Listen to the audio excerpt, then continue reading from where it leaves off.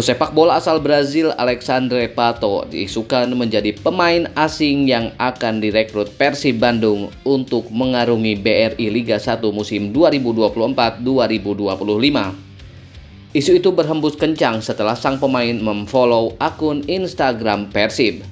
Diketahui, juara BRI Liga 1 musim 2023-2024 itu masih memburu pemain asing untuk memenuhi 8 slot pemain asing sesuai dengan regulasi baru dari PT LIB untuk musim 2024-2025.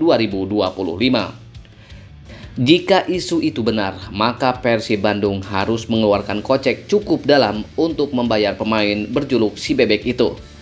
Menilik pada situs Transfer Market, Pato saat ini memiliki nilai pasar sebesar 400 ribu euro atau sekitar 7 miliar rupiah dengan status tanpa klub.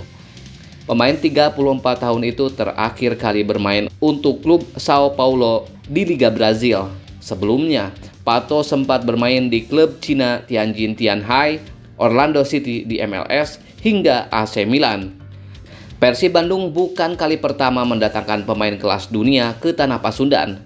Sebelumnya, tim berjuluk Maung Bandung itu pernah mendatangkan legenda Chelsea Michael Essien, ex-striker Inggris dan West Ham United Carlton Cole, hingga mantan pemain Juventus Stefano Beltrame yang ikut mengantarkan Persib Bandung juara Liga 1 2023-2024.